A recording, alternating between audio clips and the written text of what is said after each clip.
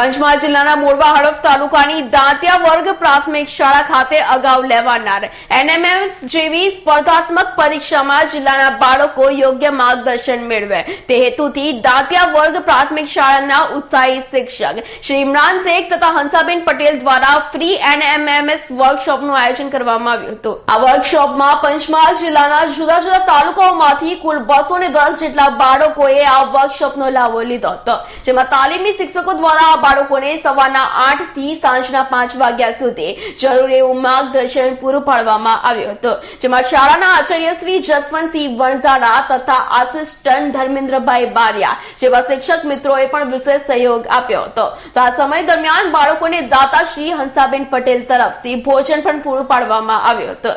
જ્યારે તાલુકા પંચાયત પ્રમુખ શ્રી દલપતભાઈ દ્વારા પણ તમામ બાળકોને ચા બિસ્કિટ આપવામાં આવ્યા હતા. આ વર્કશોપમાં ભાગ લેનાર બાળકો પણ આ વર્કશોપથી પોતાને યોગ્ય માર્ગદર્શન મળ્યાની વાતો કરી હતી અને ભવિષ્યમાં પણ આવા વર્કશોપ થાય તેવી લાગણીઓ વ્યક્ત કરી હતી. ખરેખર પ્રાથમિક કક્ષાએથી જ આ જ પ્રકારના વર્કશોપ કરી માર્ગદર્શન પૂરું પાડવામાં આવે. તો ચોક્કસ ભવિષ્યમાં આવનાર બીજી સ્પર્ધાત્મક પરીક્ષાઓમાં પણ તેનો લાભ મળી શકે. ત્યારે આ પ્રકારના વર્કશોપનું આયોજન કરનાર શાળા અને શિક્ષકો અને અન્ય શાળા તથા શિક્ષકો માટે પ્રેરણારૂપ બન્યા છે. ઇકબાલ શેખનો રિપોર્ટ પંચમહાલ.